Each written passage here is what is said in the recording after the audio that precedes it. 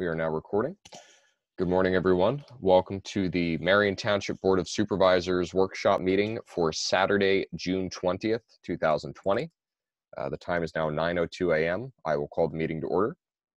This meeting, as uh, many of our previous ones, are being done over Zoom uh, because of the COVID-19 and current stay-at-home orders. Um, we did receive an email that as of the 26th, Berks County will be going back to a green state per the governor's orders. Uh, this is something that we should discuss in terms of what we want to do as a township in the immediate future following that, most likely at next month's meeting. Uh, whether we're going to return to kind of a more normal setup or we're going to play it by ear for a month to see how things uh, transpire after the, the general return to normality. Um, the Pledge of Allegiance, as we've done on these meetings, is going to be omitted uh, simply because it's kind of complicated with everybody talking at once. Um, so at this point in the meeting, uh, do we have any public comments, Sue? There were no emails, no Okay. phone calls, nothing. Okay. Um, I don't see anybody on video waving their arms or anything like that, and I don't see anything in the chat. So at this point, I would say there are no public comments unless somebody wants to indicate otherwise. Um, the first item on the agenda is the emergency declaration. Uh, we made this around the, the COVID-19 situation back at the March Board of Supervisors meeting with the provision to extend for a period lasting until further action by the board. Uh, at this point, I would suggest that we continue that. We don't do anything with that until we're, we're sure that everything is all clear. Also, uh, for the record, uh, Irene Sileski is not in attendance today. It's her son's bar mitzvah. So congratulations to her son. Um, okay, the next item on the agenda is there was uh, an error on the Board of Supervisor minutes. The one motion to approve the March 26th Board of Supervisors minutes uh, should have read the minutes of March 26, 2020 Board of Supervisors meetings were distributed to the board members prior to the meeting.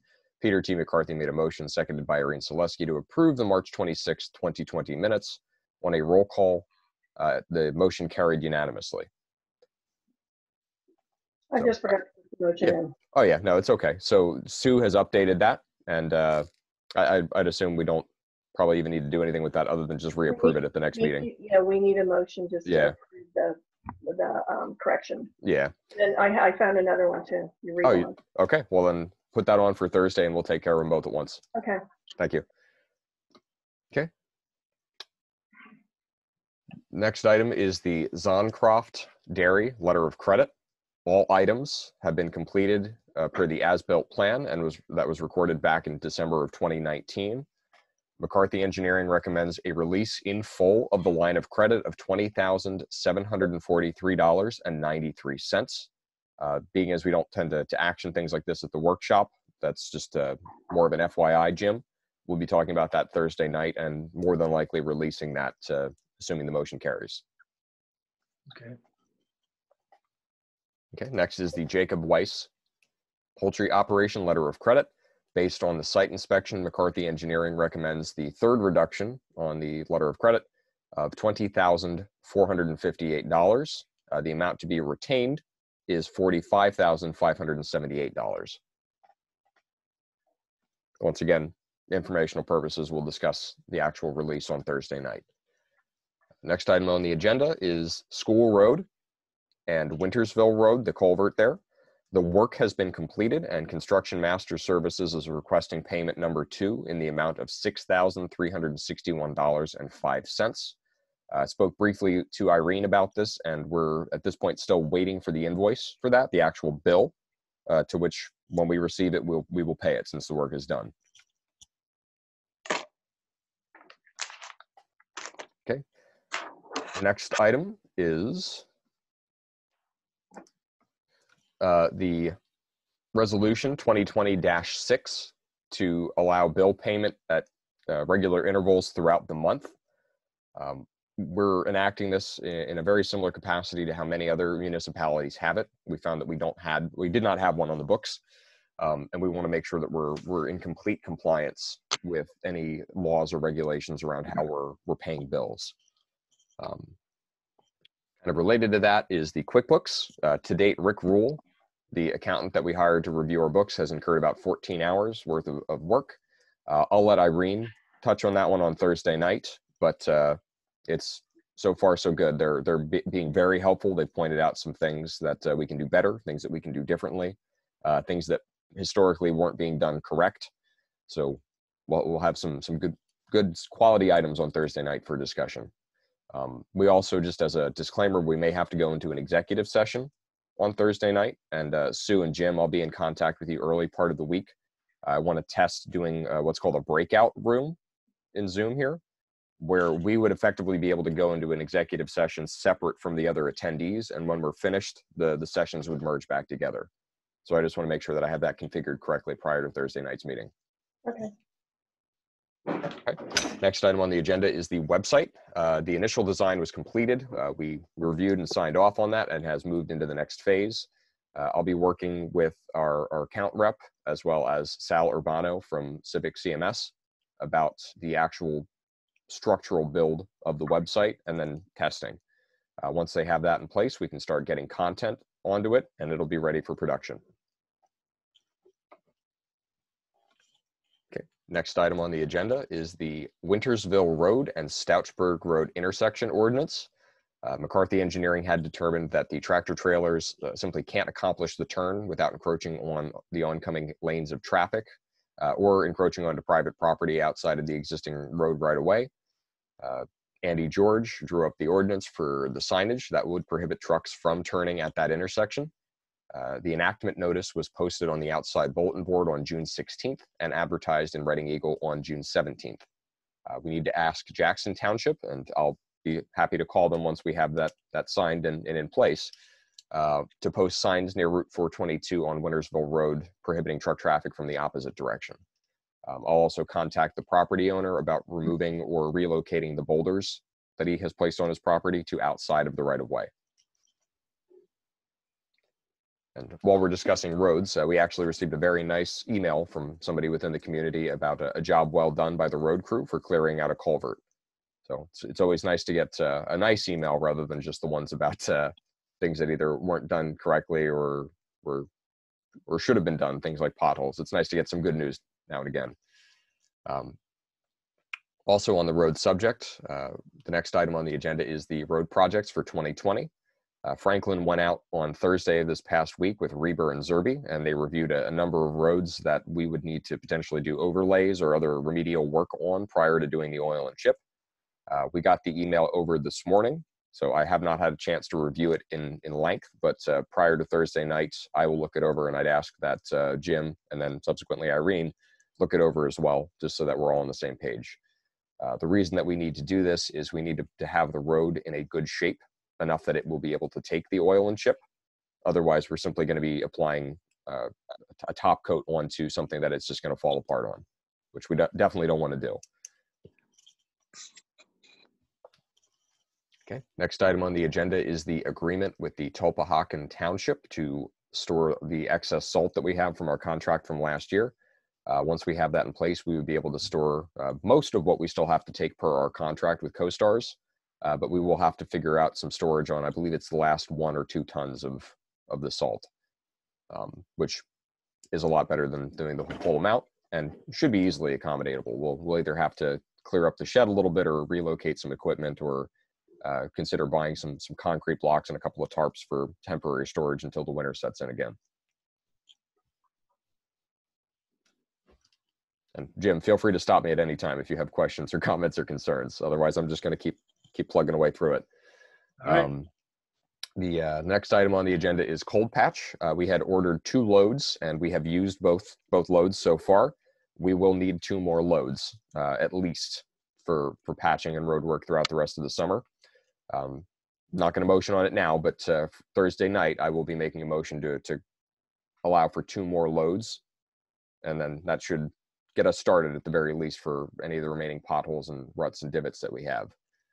Um, additionally, not an agenda item, but just as a side note, um, it was brought to my attention from the conversation with Franklin that there is some some road work that our crew would be able to execute throughout the township, mostly just uh, shoulders and gutter cleanup, various roads to make sure that the drainage is is happening. we just need to figure out where we need to do, and it's really just a function of time and them going out with the the front end loader digging and then uh, straightening things out, sweeping up the road. So hopefully, either by Thursday or by the following workshop, we'll have a, a comprehensive list of where we'd like to to focus our attention on that, and we can start getting the road crew out. Okay. Next item on the agenda, we have a, a couple of items that we need to repair in terms of equipment. The little dump truck, the, the dump body on it shifts back when put, put into the up position. Uh, Franklin did get two estimates. Uh, we have copies attached to our, our meeting pamphlets.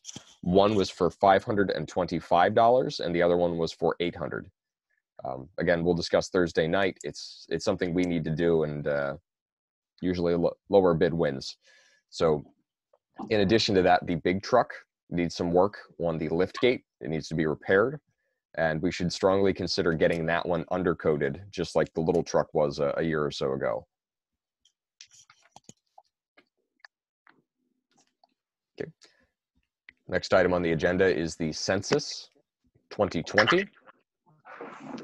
Uh, we have been requested to, to use the meeting room or our outdoor pavilion uh, based on our current uh, social distancing restrictions and the fact that the building is closed, I don't know if we can accommodate the request to use the building.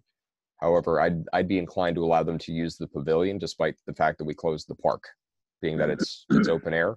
But we should discuss, go ahead, go ahead, Sue. She was okay with that. She said even if we could just allow them to be there one day, that would be fine. She gave us a list of dates, but um, Did she, said they would be happy with one date. okay, did she specify how many people they were anticipating? No, Okay, because I mean, if we're talking about six people, that's different than if you're having like 26 people in the building. right. And I don't even, I mean, she called me initially. Um, I don't even know if she guesstimated. Um, I mean, this is, according to this email, it's to swear in census takers. Okay, Um, but I believe it's not just census takers for Marion Township. I believe it's for like our general area. It's Okay. kind of, like, got the gist of, um, but, um, she totally understood. I told her about the building being closed, blah, blah, blah. Hmm. Um, and that's when she said, well, if you have a pavilion, we'll, we'll be happy to do that. She said, I don't know what it's gonna, what we're gonna do if it rains, but she said, well, we'll deal with that, you know, so. Um, Okay, seeing as it's the the end of next month, let's let's talk about it at length on Thursday night. But I'd I'd be inclined with the the return to the Green State in Berks to to consider opening up the building, even if it was just on a temporary basis on those dates for for them specifically, mhm. a- as well as considering the uh, uh, obviously with certain restrictions in place, but doing the same for the the AA group. Mhm. Oh, Um, Chuck did call me this week and wondered where we stood, and I told him as of now, you know, we're still closed because the state was still closed. So. Yeah. So it, really, we're, there are a number of things in play here. There's the state, there's our local stuff, there's a, a number of other things, but I'm I'm not opposed to it as long as they're being safe about it. And that's the Right. the real stipulating point is: Are we allowed to do it? Are we even allowed to do it to begin with? But uh, beyond that, if we allow it, how are we making sure that we're not creating a hazard? Mhm. Okay. Scroll back up to get my, my items.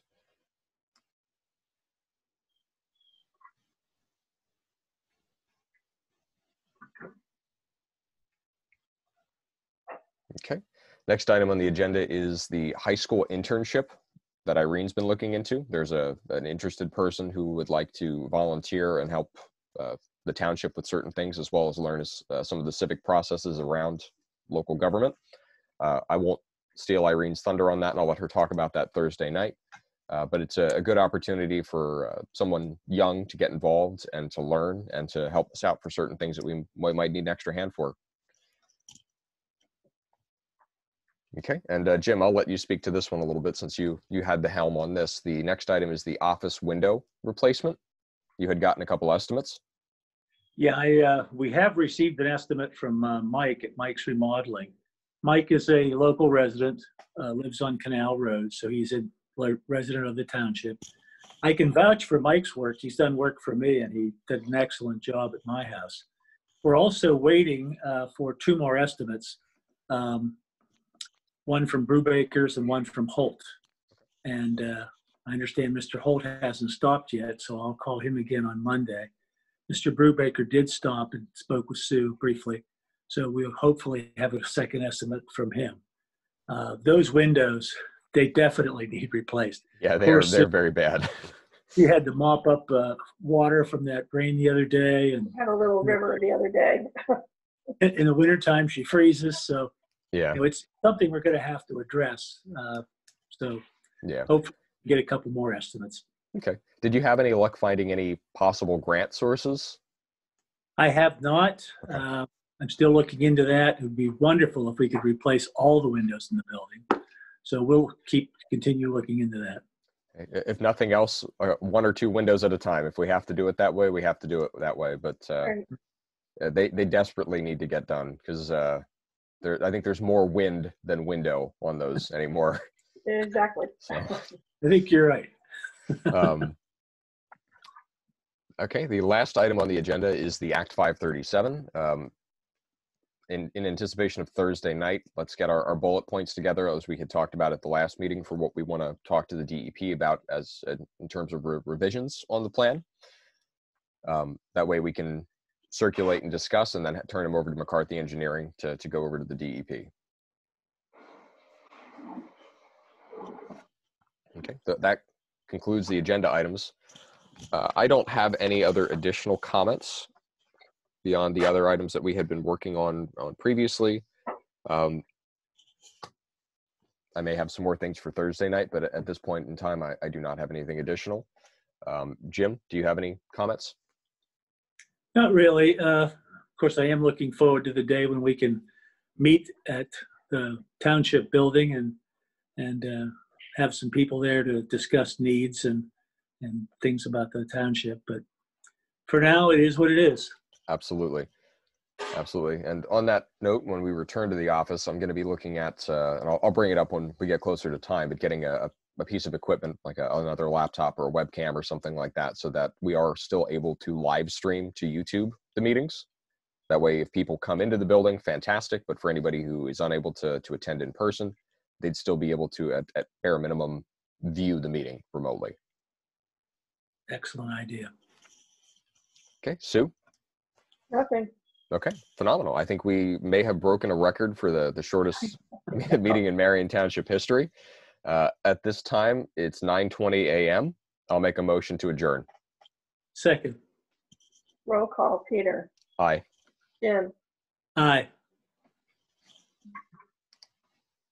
Meeting adjourned. Yeah, meeting adjourned. Thank you, everyone, for for being present and attending. And uh, have a great week. Happy Father's Day, and uh, You we'll too. we'll see you Thursday. All right. Bye. Bye-bye.